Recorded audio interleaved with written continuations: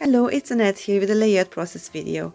I created this layout for the June challenge that is all about using die cuts. I used many different and awesome circle dies from the latest Essential release from Pinkfresh Studio. Here they are, different sizes and different designs. I cut a bunch of these and I arranged them on a 12 by 12 white cardstock. When you use white on white, you play with the shadows these add texture and dimension. I adhered some of them flat on the background, others using foam tape. The result is really gorgeous.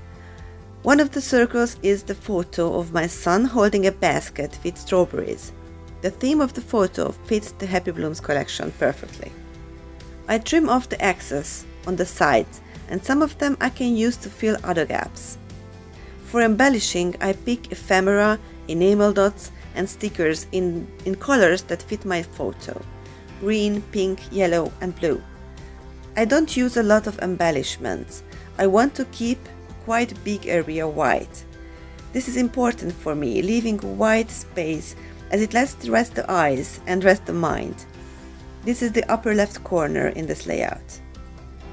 The white cutouts don't count as they work on white background as white space as would blue pieces work as white space on the same blue background. There are so many cute embellishments to choose from in this collection. I like the folksy feel to them so much. If an embellishment is too big, just fussy cut it or cut them in half. Feel free to cut them and use them as you wish. I love the fruits and the butterflies in this collection so much. Butterflies I could use on every layout, so versatile.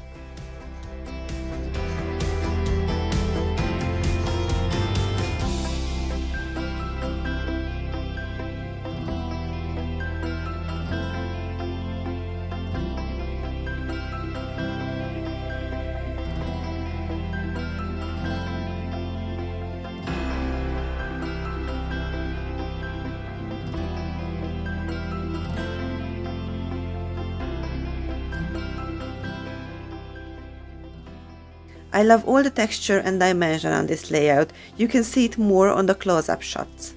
I hope you like my design idea and you create something inspired by it. Don't forget to tag me if so, I would really love to see it. We are happy when you join the challenge, create something using die cuts. Thank you for watching my video and also for commenting. The used material you can find listed under the video. See you next time.